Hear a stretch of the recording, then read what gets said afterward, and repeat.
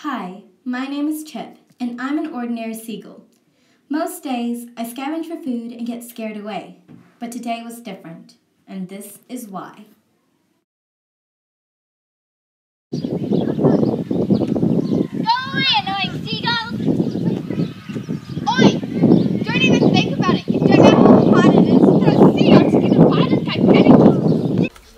Give me that piece of bread. I'm starving. Back off. I claim this piece. Well, if I knew there was bread, I would have claimed it first. Look, butterfly.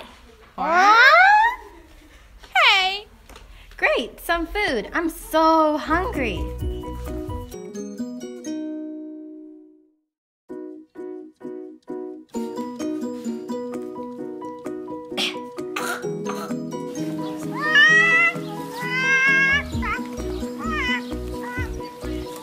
This is why you shouldn't litter.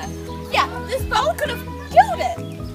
I'm sorry, Mr. Seagull. It's okay. The seagulls are safe. But next time, be nicer.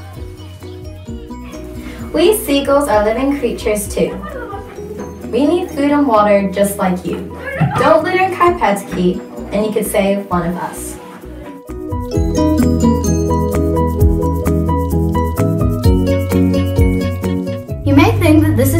Random video, but this is a real problem. 13.7 million birds die every year because of plastic.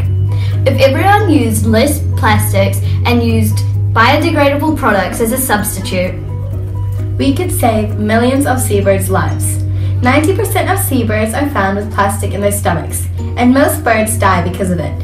A simple change in what you use as a supermarket bag could prevent deaths of multiple seagulls. Save the seagulls!